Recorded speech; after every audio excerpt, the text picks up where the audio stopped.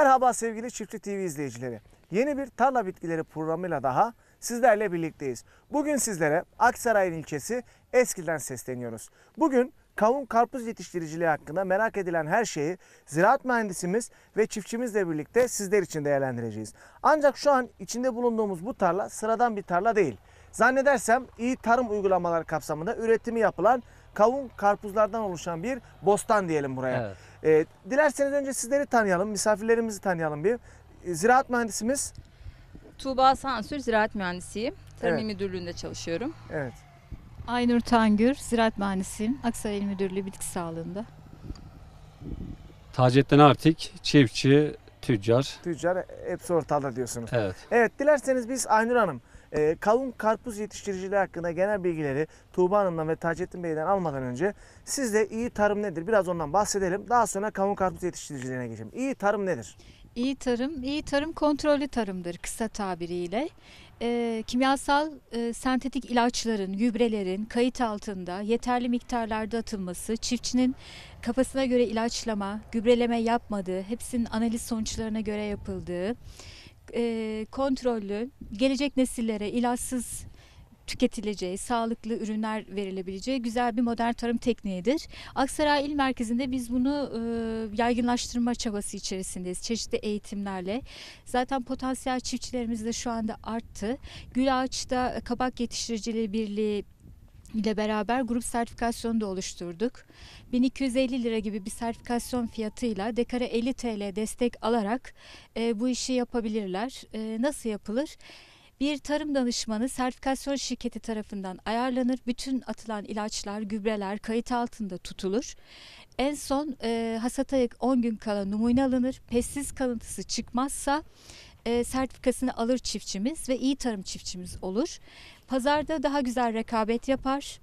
E, ayrıca pestis kalıntısı analizi yapıldığı için ürünü yerken hiçbir şekilde şüphelenmezsiniz. Bunda ilaç kalıntısı var mı yok mu veya herhangi bir şekilde sağlığıma zararı var mı diye herhangi bir şey şüphe duymadan Evet, yiyebilirsiniz. peki iyi tarımdan faydalanmak isteyen bir çiftçi, ben de iyi tarım uygulamasına katılmak Evet. istiyorum dese Aksaray'da veya başka bir ilde. Ne yapması gerekiyor? Yani belli bir dekar dönüm tarlasının mı olması gerekiyor Belli yoksa bir- il müdürlüğüne başvurması yeterli mi? Şimdi bize il müdürlüğümüze geldikleri zaman veya da serbest tarım danışmanlarına ulaştıkları zaman biz onları e, sertifikasyon şirketlerine yönlendiriyoruz. Ama şu anda dediğim gibi grup sertifikasyonu için Gülaş'ta bir düzen hani oluşturduk. Grup sertifikasyonu Evet. oluşturduk. 1250 lira gibi bir rakamla dekara 50 TL, örtü altında 150 TL, süs bitkilerinde ve ıtri bitkilerde 100 TL dekara destek almaktalar. Ee, mesela burası 600 dekar kavun karpuz tarlası. Ee, buraya dekara 50 TL destekten siz hesap edin. Yani çok Evet. güzel bir desteklemesi var bu. Hani ekonomik desteği önemli tabii ama Evet. onun haricinde bence e, tamamen e, organik değil de hani iyi tarım sonucunda ilaçlardan ayrı olması, Evet. sağlığa zararlı olmaması bence bunlar destekten çok daha önemli gibi geliyor Tabii bana. ki çoluk çocuğumuz için, Evet. işte kendimiz için e, ileriye bir yatırımdır iyi tarım. Yani en azından aldığımız ürünü tüketici yani e, logoyu gördüğü zaman iyi tarım logosunu gördüğü zaman bazı isim vermeyelim. Hani süpermarketlerde e, Aksaray'da da var. İyi tarım ürünü satılmakta. Alırken artık ürünün e, pestisit analizi yapıldığını ilaç kalıntısı kalmadığını birebir kontrollü tarım ürünü yediğinizden emin olarak yiyebilirsiniz. Evet, şunu söyleyelim hemen çiftçilerimize, e, izleyicilerimize. Organik tarımla iyi tarım aynı şey değil. Aynı iyi değil. tarım e, ilacın kontrollü bir şekilde kullanıldığı tarım. Evet. E, o logoyu gördüğümüz yerlerde rahatlıkla alışveriş Aynen. yapabiliriz. Tabi Aksaray'a gelirseniz de Taceddin Bey'den rahatlıkla e, kavun karpuz alabilirsiniz. İyi tarım uygulamalarını en iyi şekilde uygulayan çiftçilerimizden birisi. Evet. Son olarak şunu sorup size hemen göndereceğim. Son zamanlarda Aksaray'da zannedersem bu iyi tarımla ilgili bayağı bir çalışma yapıldı. Yanılıyor Evet. muyum? Çok güzel çalışmalarımız var. Bir kere grup sertifikasyonunu kurduk Gül Ağaç'ta. Evet. Ee, o bir sertifikasyon ücretinde bir düşüklük meydana getirecek. Sertifikasyon ücretlerinin yüksek maliyetleri yüzünden çiftçi pek yanaşmıyordu iyi tarıma. Ee, artık bütün maliyetler içinde toprak, su analizi, PVC e, asım tabelaları, artı e, teknik danışman hizmeti beraberinde 1250 lira gibi bir rakama grup sertifikasyonu ile imza atabilecek çiftçimiz. E, bu da ne demek? Daha düşük dekarlı çiftçilerimize ulaşabilme imkanı demek. 30-20 dekarda çiftçi çok fazla destek alamadığı için iyi tarıma yanaşmıyor. Ama bir 50-70 dekar üstüne daha güzel hitap ediyor tabii dekara destek anlamında. Evet. Biz e, şimdiden sizlere Aksaray Gıda Tarım Hayvancılık Müdürlüğü'ne çalışmalarından dolayı çok teşekkür ediyoruz. Çok Biz sağ de olun verdiğiniz teşekkür ederiz böyle dolayı. bir program yaptığınız için. Evet.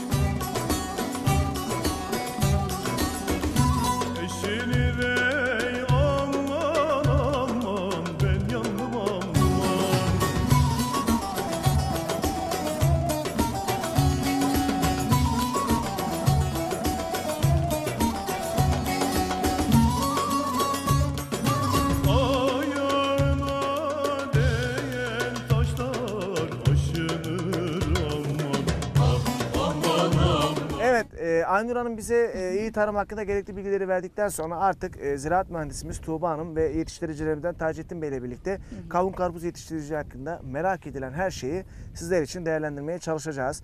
E, Tuğba Hanım ben hemen size şunu sorayım. E, kavun karpuz deyince insanların aklına bu bölgelerden ziyade Hatay, Adana, işte Mersin veya Diyarbakır o taraflar geliyor sıcak iklimden dolayı. Ancak burada ben e, programa başlamadan önce Taceddin Bey'in ikram ettiği kavunun tadına baktığım zaman ben bu arada Hatay Kırıkhanlıyım. Yani kavun dedim akla biz geliriz onu söyleyelim. Evet, doğru. Ama samimi olarak söylüyorum sizin kavun da bizimkinden kalası değil çok güzel. Bunun iklim isteği nedir ki İç Anadolu'da da yetişebiliyor? Kavun zaten tüm bölgelerde yetişebilen bir bitki. Çok soğuk olmamak kaydıyla çünkü sıcağı ve hani kuru havayı seven bir bitki. Ee, o yüzden bütün yetişme dönemi boyunca güneşli, kuru ve sıcak havalarda olması gerekiyor. Toprak olarak da e, tutma kapasitesi yüksek, iyi havalandırılmış, organik maddece yüksek, pH'sı yaklaşık 6,5-7 arasındaki toprakları tercih ediyor. Evet yani diyorsunuz ki e, çok Her soğuk iklimin çok olmadığı soğuk her yerde olmadığı. kavunu bulabiliriz. Tabii e, lezzeti bulunduğu bölgeye ve aroması şeye göre Kesinlikle. değişiyor. Değişir. E, Ürüne Top- göre değişiyor. Oralara geleceğiz Taceddin Bey ile konuşmamızda. Peki şunu söyleyelim ben hemen size. E, her üründe biz bunu söylüyoruz. Bir toprakta bir hazırlık dönemi oluyor. Ekimden öncesi. E, kavun karpuzda da ekim öncesi dönemde böyle bir hazırlık yapılıyor mu? Tabii toprak hazırlığının yapılması gerekiyor önceden. E, ilk toprak işlemi sonbaharda yağışlardan sonra e, pullukla 25-30 santim derinlikte yapılıyor. İkinci toprak işleme daha sonrasında Şubat-Mart aylarında aynı şekilde pullukla yapılıyor. Tekrar Evet. çekiliyor. Daha sonra yapılabilir toprak işlemi şu şekilde. Yabancı ot problemi varsa tekrar yapılabilir, devam edilebilir. Yani bir, iki hatta ihtiyaç fazlası halinde tabii ki üçüncü yapılabilir. yapılabilir. Hemen burada Taceddin Bey'e sorarım. Taceddin Bey e, Aksaray'da bir yatırımcı. E, Taceddin Bey toprak hazırlığı 3 defa yapılabilir diyor. Siz bu toprağa ilk hazırlığı hangi mevsimde başladı? Hangi dönemde başladınız? E, sonbahar ayında işte Kasım'da Kasım ayında bir nadas yapıldı. Evet. Ana bir sürüm. Ondan sonra akabinde Şubat Mart ayında sürümler devam etti. Yağışlardan kış mevsimi geçtikten sonra. Evet. E, ve bu yaptığımız ekim şekline göre de e, olan alet edevatlarımız var. Toprağa şekil veriyoruz. İşte ekim aralığını, Her türlü kat hazırlık. arasını evet hazırlıklarını yapıp 3. ayda tamamlıyoruz. Kavunla karpuzun hazırlığı hemen hemen aynı mı? Aynı. Herhangi İkiz ürünler e, bakımları da yaklaşık şeylerde aynı diyebiliriz. Peki mesela e, Tuğba Hanım dedi ya birinciyi yaparsın, ikinciyi yaparsın. Hatta hastalık ve zararlarla yabancı otla mücadele için üçüncüyü de yapabilirsin. Bu bölgede yabancı otla mücadele konusunda sıkıntı yaşadınız mı? Üçüncü, onu hani en son geleceğim ama hazırlık aşamasında en azından bir sıkıntı oldu mu? Üçüncü kez bir bakım yaptınız mı? Ee, öyle değil ama toprağın iyi imar edilmesi anlamında hani yabancı otun vermiş olduğu bir sıkıntı olmamasına rağmen yine de yaptık. Çünkü toprak ne kadar işlenir, ne kadar şeyden geçerse o kadar Evet. iyi, verimli ürün alırız. Ben çiftçinin böyle bilinçli olması çok güzel. Evet, Ee, Gerçekten kesinlikle. bu çok önemli. Evde gelip yatmaktansa ne kadar çok toprağa bakarsak hasadımızın o kadar iyi olacağı. Çünkü e, bunu biz sürekli çiftçilerimize de söylüyoruz. Ürün ekildikten sonraki dönem çok önemli ama ürün ekilmeden önceki dönem de çok önemli. İmar kısmı, Hazırlamak kısmı, evet. gerekiyor, bakmak gerekiyor toprağa. Taceddin Bey bu konuda bilinçli. Zaten Evet, tarlaya, bostana da eğitim baktığın zaman maşallah e, kavunlardan da anlaşılıyor. Birazdan tek tek göstereceğiz tabii kavunun karpuzun nasıl olduğunu. Evet. E, şimdi e, dilerseniz ekim dönemine gelelim. Hı hı. E, bölge olarak baktığımız zaman hani e, Türkiye'nin her yerinde farklıdır. Sıcaklıkla alakalı olduğu zaman İç Anadolu için konuşacak olursak en uygun kavun karpuzun ekim dönemi hangi dönem? İç Anadolu için Nisan sonu Mayıs başı gibi ekimi yapılabilir. Fide dikimi yapılacak muhtemelen. Ee, onun dışında da özellikle şöyle dikkat etmemiz gerekiyor. Sonbahar, ilkbahar geç donlarından sonra olmasına dikkat ediyoruz. Evet. Ekimi ama tarih olarak da Nisan soyu, sonu Mayıs başı olabilir. Peki burada şey önemli mi? E, mesela şu kadar derine, şu kadar aralıklarla ekilmeli bunlar önemli mi yoksa? Ee, ekim arası tabii ki önemlidir. Ee, hat arası 1 metre. Ee, zaten makine ve ekipmanlar buna göre Evet. dizayn edilmiştir. Buna göre yapılıyor. Evet ekim aşamasında değil mi Taceddin Bey? Bahsettiği Evet. gibi Tuba Hanım'ın makine ekipmanlar buna göre ayarlı. Evet. Ee, aralıkları hangi seviyede oluyor? Kök aralıkları 1 metre yapıyoruz. Evet. Hatta 2 metre. Hat arası Bu- 2 metre. Bu şeyler biraz tercihe göre de değişebilir. Ektiğiniz ürünün cinsine göre yani kavun ama kavunun da yüzlerce, onlarca çeşidi var. Karpuz da mı aynı şekilde? Karpuz da aynı şekilde. Hatta Evet. karpuz biraz daha geniş aralığa ve kök aralığına ekiliyor. Çünkü kabak aşı e, e, üretim yapıldığı için Evet mesela bir buçuk metre karpuzun kök aralığı ama kavun bir metre. 1 metre. Evet. Peki ben şunu söyleyeyim hemen. Ekimi ne zaman yaptınız bu tarlaya? Ee, Mayıs'ın ilk haftasında başladık. Evet. Bir 15 gün kadar sürdü ekimler. Evet 15 gün kadar. Bunun peki e, tohumu e, tüp halinde mi oluyor yoksa? Tüp evet bu viyol diye adlandırılan e, fide testlerine yaptırıyoruz biz. Evet. Mesela şu cins kavundan karpuzdan istiyoruz diye e, sipariş veriyoruz. Onlar da onu bize yetiştirip fide haline getirip teslim ediyorlar. Biz de hazır fideyi ellen E, he, tek Diktiriyoruz. tek elle mi dikiyorsunuz? Evet, tek tek elle Oo, diktiriyoruz. 600 dekar alanı elle bayağı bir işçilik masrafıdır zamandan. Ama Evet, tabii ki e, uğraş. en uygunu o. Peki bu bölgede e, yani siz daha önce e, kaç ne zamandır bu kavunu ekiyorsunuz? Onu önce bir sorayım size. Valla 3 yıldır bu bölgede Üç. ekiyoruz. Hep aynı kavunu mu ektiniz? Ee, yok farklı kavun çeşitleri de ektik. Ama şu an e, bu sene de farklı 2-3 çeşit tercih ettik. En böyle buraya uygun kavun hangisi? E, verim 45 diye adlandırılan bir kavun çeşidi. Şu an o mu bu? Bu kavun da Westeros Evet. diye evet, ismi olan bir kavun çeşidi. Evet. E, şu karşıdaki tarlamızda verim 45 kavunu Evet. var. Bu ikisi burada çok güzel oluyor. Tutuluyor. Piyasa anlamında da tutulan cinsler olduğu için ben bunları tercih edip ektim. Evet. Ama başkasını da ekeseniz Memnunsunuz yani bundan. Evet memnunuz. E, peki e, ekim döneminde ya şuna dikkat etmemiz gerekir dediğiniz bir olay oldu mu? Tohumluk seçimi olsun veya Evet. E mesela ben önce şunu sorayım. Hadi oraya gelmeden önce bu iyi tarımla tanışmanız nasıl oldu? İyi tarım uygulamalarına geçmeniz. Şimdi yapan arkadaşlarımız vardı. Bu Evet. uygulamalarla üretim yapıp işte pazarlama yapan arkadaşlarımız. Ee, bir de devletin sunmuş olduğu destekler var.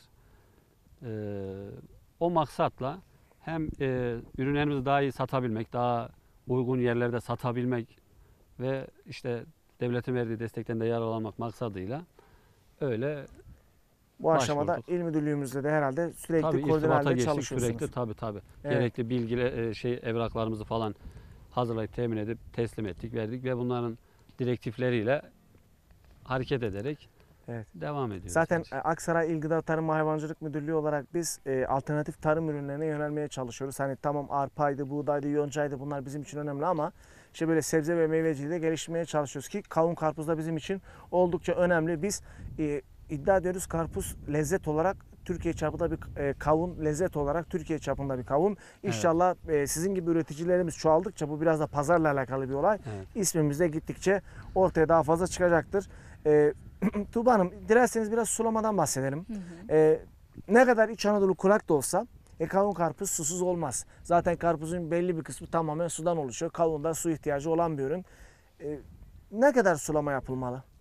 Şöyle e, kavun gelişme ve e, olgunlaşma döneminde suya çok ihtiyaç duyar. Evet. Bu dönemlerde özellikle dikkat edilmesi gerekiyor. Öncesinde de ilk sulamadan itibaren 10-15 gün aralıklarla ikinci ve üçüncü sulama yapılır. Tabii bu hani bir kriter değil, ihtiyaca göre de değişebilir bu. Tamamen iklim şartlarına ve toprağa göre değişir. Evet. Peki e, sulamanın eksik veya fazla verilmesinin herhangi bir zararı olur mu ürüne? E, tabii ki fazla ve eksik sulamanın zararı olur. Fazla sulamanın hatta hastalıklara, mantarı hastalıkların gelişmesinde daha çok etkisi oluyor. Evet birazdan dilerseniz hastalık ve zararlar Evet. kısmında oraya geçiş yapalım. Ee, önce Taceddin Bey şunu soralım. Aksaray kurak su sıkıntısı malum. Gerçi bulunduğunuz bölge e, bir şekilde su ihtiyacının karşılandığı bir bölge. e, ne tür bir sulama yapıyorsunuz? Damlama mı, yağmurlama mı, salma mı? Damlama sulama yapıyoruz. Evet. Ee, yani bu şekilde mahsullerimizi yetiştiriyoruz. İlk defa sulamayı hangi ayda yapıyorsunuz? İlk defa ilk ekim esnasında yapıyoruz. Can suyunu hemen veriyor musunuz? Evet, ekilmeden önce bir ıslatıyoruz toprağı, suluyoruz. Yumuşasın diye. Evet. Ee, akabinde ekimden sonra işte can suyu diye adlandırılan bir yarım saat, bir saat Evet. e, daha Damlama bir suyu yapıyorsunuz. suyunu veriyoruz. Evet. Peki ortalama mesela e, Mayıs ayında ekiyorsunuz. 4 ay gibi bir süre geçmiş. E, bu süre zarfında e, hangi dönem aralıklarıyla sulama yapıyorsunuz? Şimdi ilk etapta bitki küçük olduğu için yani geniş zaman aralıklarıyla sulanıyor. Mesela bir hafta, 10 gün biraz havanın da durumuna bağlı. Evet. Yağış olur veyahut da serin Tabii geçer. rahmetin yağması da önemli. Yani e, çok sıcak olur ve mahsul geliştikçe de büyüdükçe de daha fazla su ihtiyacı doğar. O zaman işte dönüşümleri 3 güne, 4 güne indiriyoruz. Evet. Veyahut da kısa aralıklarla mahsul fazla rahatsız olmasın diye 2 saat veriyoruz. Gün aşırı veriyoruz.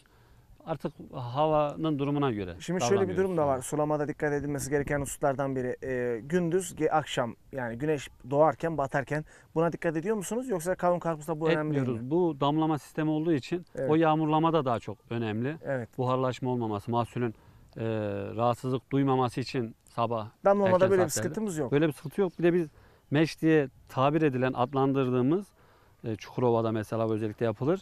Evet. Naylon seriyoruz damlamanın e, üstüne. Çilek yetiştiricileri gibi. Evet diyebiliriz. Birçok şeyde de artık Maşlama kullanılıyor gibi. bu mesh diye adlandırdığımız e, uygulama. Şimdi mesela şu yaprakların altı hep naylon bu tarlaların altı hep naylon serili Evet. ve damlama sulama O sistemi var. suyun kaybolmasını mı engelliyor? Evet, e, buharlaşmamasını artı bitkinin gelişimi için bir sıcaklık sağlıyor ekstra ve en önemlisi bu yabani ot gelişimini engelliyor. O bize çok büyük bir kolaylık. He. Hem masraftan hem bitki yetiştirme anlamında zahmetten vesaire vesaire. O e, siz o tohumları buraya ekiyorsunuz elle. Eker ekmez üstüne mark çekiyor musunuz? Yok ekilmeden çekiliyor. Ekilmede çekip ondan sonra delip öyle mi yerleştiriyorsunuz? Evet delen de var. Ben mesela delikli hazır e, öyle naylon sipariş alıyorum. Tamam. O Yabancı otla mücadeleyi diyorsunuz daha başlamadan belli bir oranda şükür bitiriyoruz. Evet. Bak bu çok güzel Büyük bir bir şey. oranda E, yani Çiftçilerimiz de hatta. umarım bunu not almışlardır. E, kavun ekmek istiyorlarsa bu maşlama sistemini kullansınlar. evet, Yabancı evet. otla mücadeleyi büyük oranda dediğiniz gibi halledebilirler. Evet gübrelemeye gelelim. E, her üründe olduğu gibi tabii ki e, kavun karpuzda da gübreleme oldukça önemlidir. İyi tarım uygulaması olduğu için herhalde gübrelemeye biraz daha fazla dikkat ettiniz, hassas davrandınız. Tabii. E, önce bir ihtiyacınızı soralım. Sonra siz de gübrelemeyi ne Tabii. şekilde yaptınız bunu Aynen. biraz bahsedelim. E, kavun organik maddece zengin toprakları sevdiği için e, yanmış çiftlik gübresi kullanabiliriz. Bu da e, dekara 4-5 ton şeklinde olabilir. E, kimyasal gübrelemeye geçince önce toprak analizini öneriyoruz çiftçilerimize. Çünkü toprak analizi sonucunda ihtiyacına göre verilmesi gerekiyor. O şekilde kontrol altında olur. Ama biz bir öneride bulunmak istersek öneri olarak e, 15 kilogram azot, 20-25 kilogram potaslı ve fosforlu gübre uygulanabilir. E, Bunların zamanı da çok önemli. E, Ekimden önce azotlu gübrenin yarısını, potaslı ve fosforlu gübrenin yar- e, tamamını veriyoruz. E, Daha sonrasında da azotlu gübreyi e, bu sürgünlerin oluştuğu dönemde kalanını veriyoruz. O şekilde. E, zaten şunu söyleyeyim önce e, bu gübreleme yapmadan önce iyi tarım uygulaması olduğu için herhalde bir danışmanla veya ziraat mühendisiyle ortaklaşa bir çalışma yaptınız değil mi? Tabii tabii yaptık. Şimdi bizim mahsullerimizin gelişimini kontrol eden, işte yapacağımız uygulamaları bize e, bildiren ziraat mühendisi arkadaşlar var çalıştığımız. Danışman, firma diyeyim zirai anlamda. Evet. Onların yönlendirmeleriyle e, uygulamalarımızı öyle yapıyoruz. Gübre Peki- ve ilaç. Şimdi bu her çiftçiye sorduğumuz klasik bir soruyu sana da soralım. Toprak analizi yapıyor musun? Tabii yapıyoruz. Niye Yapıyoruz. yapıyorsun? Onu da bir söyle çiftçilerimize de. Niye yapıyoruz? Toprak Kimi diyor ki yapısının- destekçi. Ya diyorum sadece destek için bu iş yapılmaz. O ayrı bir şey. Bir de hiç o olmasa bile e, yetiştireceğimiz üründen en üst seviyede mahsul alabilmek, kalite anlamında da olsun, almak için toprak acaba ne kadar bu maddeyi istiyor, ne kadar istemiyor vesaire gibi şeyleri yetiştireceğimiz ürünün e, çeşidine göre de, cinsine göre de Evet. e, fark ediyor. Tabii o amaçla biz yaptırıyoruz. Diğer destek vesaireler ikinci sırada planda geliyor bizim Tabii ki için. yani büyük işletmeler dediğiniz gibi verim önemli, bakım önemli, e, alınacak kalite önemli. Bunun için de ne Evet. yapmak lazım? E, toprak analizi yaptırıp en uygun gübrelemeyi yapmak lazım. Saffet efendi suçlarımı efendim Beni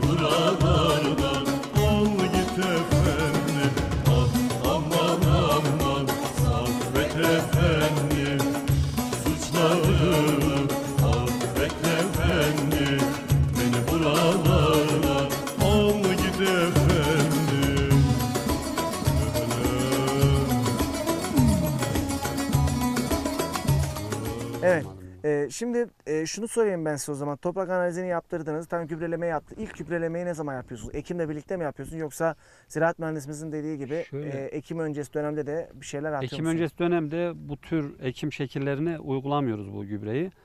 Ektikten sonra fideyi e, mesela aşağı yukarı bir hafta sonra gübrelemeye başlıyoruz. Öncesi yapmıyoruz. Daha önce yapmıyorsunuz. Evet o gereksiz e, veyahut da şöyle diyebilirim. Hani bilinçsiz bir gübreleme eski usul kara düzen Evet. bir şeyden dolayı yani çiftçilikten Evet. dolayı böyle oluyor. diyeyim. Topraklar kira değil mi? Evet kira Evet, yiyeceğiz. kendi malınız olsa herhalde bir hayvan gübresi de işlenmiş hayvan gübresine de girersiniz diye düşünüyorum. Evet. Ee, peki e, şöyle bir şey var. Gübrelemeyi yaptınız. Ee, eksik fazla. Ee, hasada doğru gübreleme yapıyor. Yani ilk başta ekiminden sonra gübreleme yapıyor musunuz bir daha? Tabii 3-5 e, aşama daha gübreleme yapılıyor. Evet. Mahsulün gelişimine göre. Geliştikçe her gelişimde daha farklı oranda ve çeşitte gübre e, kullanıyoruz. Yani diyoruz kavun karpuz yetiştiriciliğinde gübreme en az sulama kadar önemli. Evet, En evet, az 3-4 tabii. defa bilinçli bir şekilde gübreleme Tabii tabii. yapmak gerekiyor. Zaten iyi tarım Danışman. yapıyorsanız Evet. bilinçli olmak zorundasınız. Başınızda bir danışman olmak zorunda veya bir ziraat mühendisi olmak zorunda. Evet. Ee, hastalık ve zararlarla mücadeleye gelelim. Ee, Taceddin Bey çok güzel bir şey söyledi. Buradan çiftçilerimize dedim inşallah not almışlardır.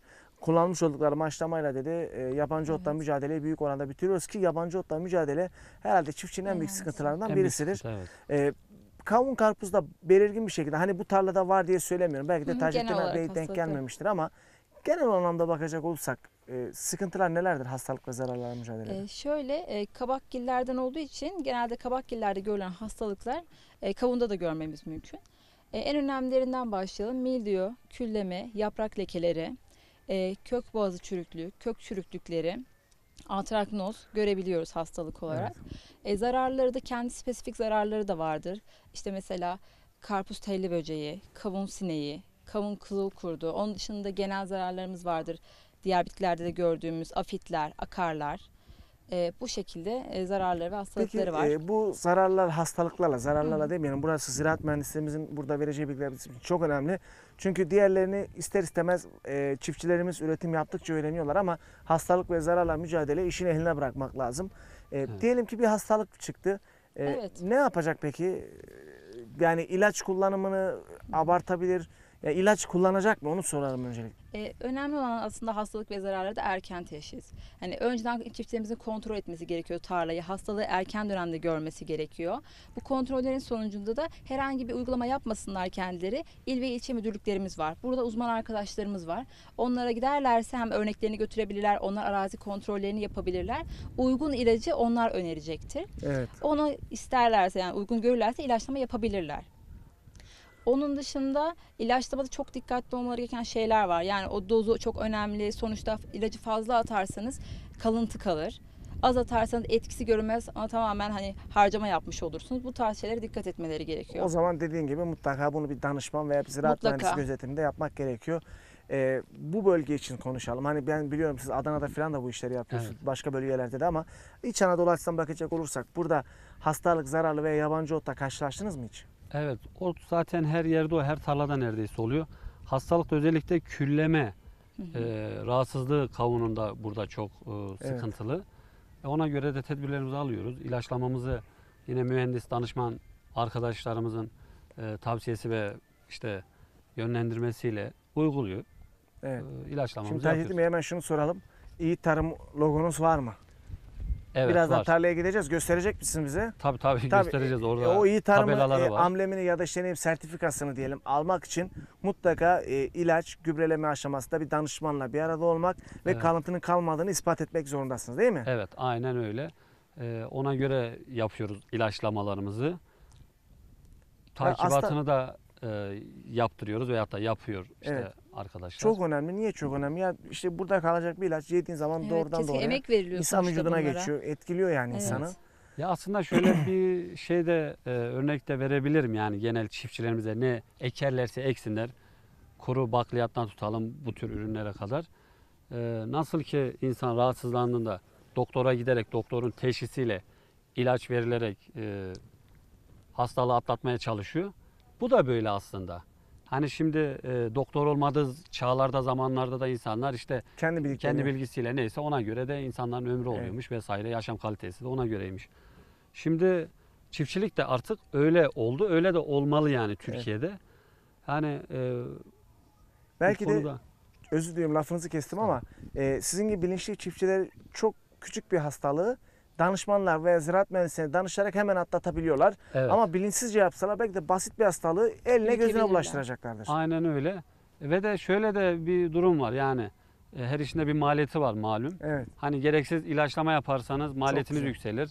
İşte insan sağlığına zararı artık ne derece e, yanlış yapıldıysa o derecede zararı olur vesaire.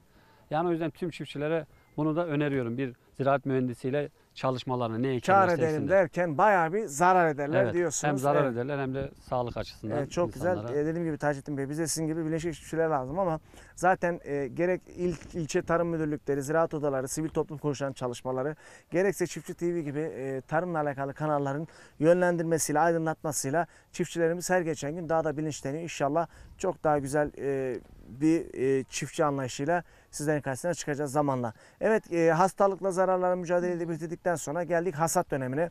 E, en uygun hasat dönemi hangi dönemdir ve neye dikkat edilmeli? Mesela baktığımız zaman e, herhalde yeşil değil de sarı olması Evet lazım. bazı kriterleri var Evet. e, bunun. Mesela işte kavunun alt kısmında bir yumuşama oluyor ve bir koku oluyor. E, tabii ki rengi ve çeşit özelliğine göre rengi ve parlaklığına bakmak gerekiyor. Onun dışında sap kısmında kulakçıkları vardır kavunların. Onların kurumuş olması gerekiyor. Bunlara bakarak da hani anlayabiliriz. Onun dışında dönem olarak da bu Ağustos başı, Ağustos ortası şeklinde ya duruma göre değişir. Kavunun cinsine, bölgesine göre ben Kesinlikle. şunu söyleyeyim bizim Hatay Kırıkan'da Haziran Temmuz arası kavunlar hasat Tabii edilir. Bu dönemde farklı. biter. Bulamazsın artık. ılıman iklim olduğu için tabii Evet, oralar sıcak öyle iklim ama olduğu için. Ee, hasat bakıyoruz maşallah e, biz tam hasadın Başlamışsınız üstüne denk bile. gelmişiz. evet çok Taceddin Bey e, ya bakınca da maşallah büyük. Evet. Hani e, aklına insanların şu geliyor olabilir. Birazdan bir tane izin verirseniz keseceğiz. tabii, tabii ne demek. büyük ama içi acaba nasıl? Kelek mi? İşte de e, lezzetsiz mi? Lezzetin kefili biz olalım da e, içinin şeklini de çiftçimize, vatandaşımıza gösterelim. İlk hasadı ne zaman yaptın burada? ilk hasatı işte aşağı yukarı bir hafta oldu. Evet. Bir hafta yani 8. ayın işte Ağustos'ta On, başlıyoruz. evet, Karpuz da mı aynı şekilde? evet karpuz da aynı şekilde. Evet. Bir haftadır başladık yani Ee, hasata. peki e, hasatta elle yapıyorsun. Nelere Evet. dikkat ediyorsunuz? Hasatta şöyle olgun meyveyi işçiye toplatıyoruz. Bir de mesela kavunda gördüğünüz gibi o yeşil sapını Evet. biraz uzun kestiriyoruz ki o raf ömrünü uzatır meyvenin. Artı e, tatla alakalı da e, faydası da vardır. Yani besleniyor çünkü bitki oradan. Evet. meyve neyse. Ee, bu şekilde toplatıyoruz yani tarladan. Ondan sonra yüklemesini, peki bir şey sevkini- söyleyeceğim. Ee, kavunu kopardığınız kökten aynı yerden bir daha kavun çıkma şansı var mı? Şöyle var e, mesela şu gördüğünüz gibi şu an olgunlaşmamış meyveler var. Evet. Bura toplanıyor. Aradan işte 3-5 gün 10 gün sonra neyse meyvenin durumuna göre tekrar hasata devam ediyoruz. Yani bununla beraber e, daha ufak mesela e, gelen meyveler oluyor. Onlar da e, zaman havanın şartına göre büyürse şey yapabiliyoruz, Evet toplayabiliyoruz. e, Taceddin Bey burada ben size bir şey sorayım. Ee, pazarlamaya geleceğim ondan sonra. Kaç tane işçiniz var? Valla aşağı yukarı 30 kişi çalışıyor. maşallah. Bak görüyorsunuz değil mi? Koca bir istihdam alanı. Mevsimlik de olsa Evet. yani burada siz nereden baksanız Nisan ayında başlıyorsunuz Eylül ayına kadar bir 4-5 ay kalıyorsunuz. Ee, neredeyse yılın yarısı evet. Ee, gerçekten Aksaray'da güzel bir istihdam alanı yaratmışsınız. Sizin gibi tabii başka başka büyük işletmelerimiz de var. Ee, ne mutlu size ediyoruz, ne mutlu bize ediyoruz. İnşallah Aksaray'da sizin değerinizi biliyordur. Ee, pazarlamaya gelelim. Ee, bu kavun organik dediniz. Şey pardon, iyi tarım uygulamasından geçti dediniz. Kesinlikle herhangi bir hastalık kalıntısı yok dediniz. evet. Büyüklüğüne baktığımız zaman bir daha söylüyorum. ee, birazdan bir tanesini alacağız, keseceğiz. İnşallah güzel çıkar. Çok Ee, tatlı. pazarlamayı nasıl yapıyorsunuz? Yani Tabii. mesela bu programı izleyen biri veya Konyalı veya Aksaraylı veya Niğdeli, Nevşehir, Kırşehirli bir üret firma ya desek ya ben bunu alıp marketlerimde satmak istiyorum, iş yerimde satmak istiyorum. Ne yapacak? Adam nasıl ulaşacak? Pazarlama için bir ağınız var mı? Ee, var diyebiliriz. İşte telefonla kimi alıcılar gelerek yerinde görerek işte beğenerek Tarlaya Mesela. gelip şey yapabiliyorlar yani. tabii gelip bakabiliyorlar. Ee, ki genelde de öyle olur zaten Evet. bu işin alım satımı. Evet. İşte bakıp ona göre anlaşıyoruz sezonun durumuna Peki göre. pazarlamada falan bir sıkıntınız var mı? Ya da şöyle söyleyeyim. Kavun yetiştiricileri olarak, karpuz yetiştiricileri olarak baktığınız zaman sıkıntılarınız var mı? Ya elbette var şu an mesela şey olarak aklıma gelmese de e, yani aşağı yukarı pazarlamasını yapabiliyoruz. Bağlantılarımız belirli bir düzeyde var zaten. E, yani Bu işle ilgili devlet desteğinden memnun musunuz? memnunuz evet. Özellikle iyi tarımdan sonra herhalde daha da bir Evet.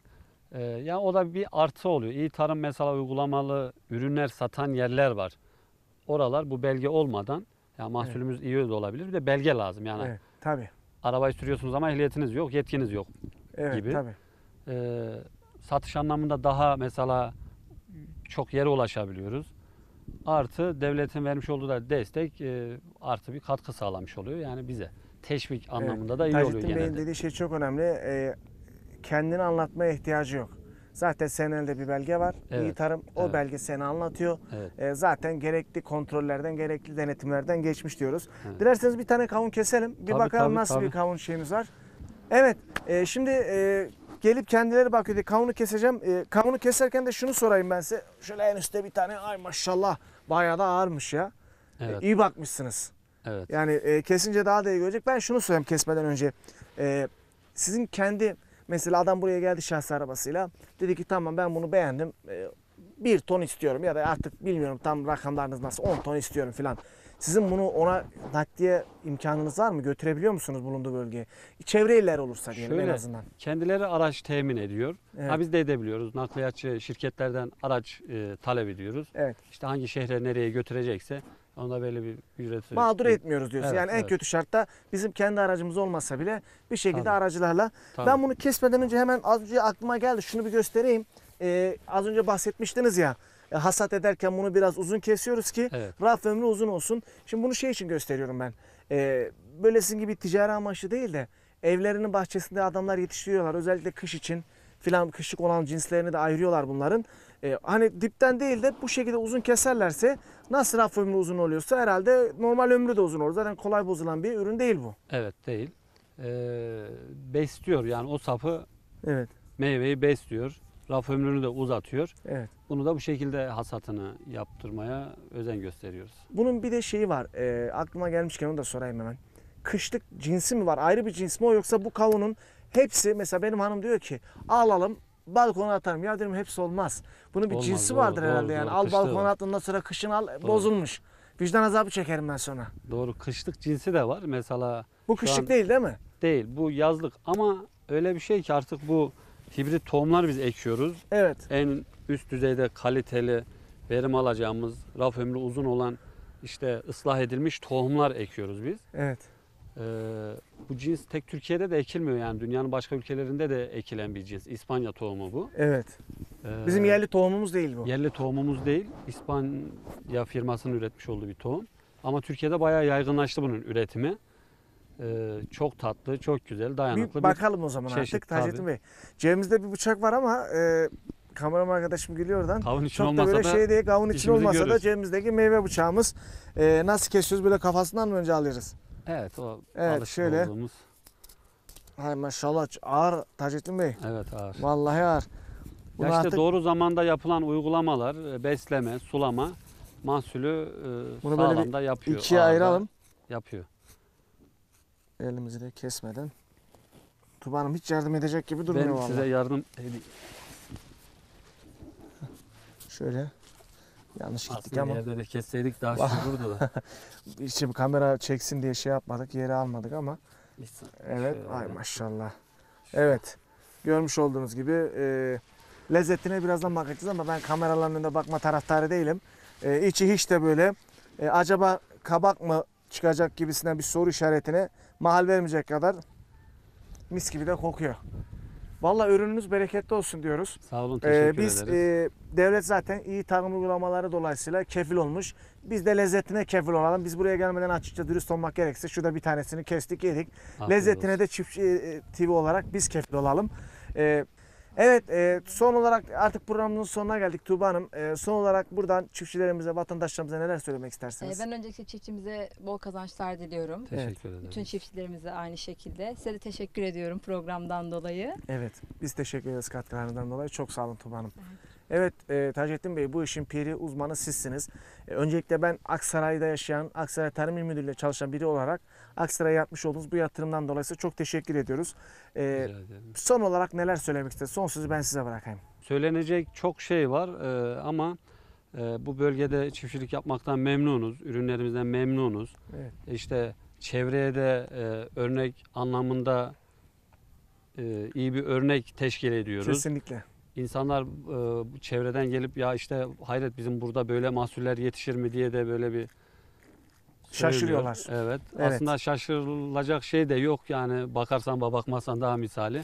Evet. Yani e, birçok iş yapılabilir yani. Ben şunu dik- söylemek istiyorum buradan. Aksaray kurak bir bölge ama samimi olarak söylüyorum her şey yetişiyor. Yani önümüzdeki haftalarda marul yayınlayacağız, domates yayınlayacağız, Evet, evet. kavun, karpuz, kabak çekirdeği, ay çekirdeği. Yani e, insanlar üretmeyi seviyor. Tabii sizin gibi dışarıdan yatırımcıların gelmesi de bizim için çok önemli. Ben bir kez daha gerek e, kendi şahsım adına gerekse müdürlüğüm adına size yapmış olduğunuz bu yatırımlardan dolayı çok teşekkür Ben ediyoruz. çok teşekkür Emeğinize ederim. sağlık diyorum. Çok sağ olun. Ben de çok teşekkür ederim. Evet sevgili Çiftçi TV izleyicileri bir programımızın daha sonuna geldik. Bugün kavun karpuz yetiştiriciliği hakkında merak edilen her şeyi sizler için anlatmaya çalıştık. Tabi bunları anlatırken iyi tarım nedir? İyi tarımın faydaları nelerdir? Ne gibi başvuruların sonucunda yapılır? Bunları da dilimizin döndüğünce ziraat mühendislerimiz ve yetiştiricimizle birlikte sizlere anlattık. Umarım faydalı bir program olmuştur. Bir sonraki programda görüşmek üzere. Beni buralardan al git efendim Ah aman aman Saffet efendim Suçlarımı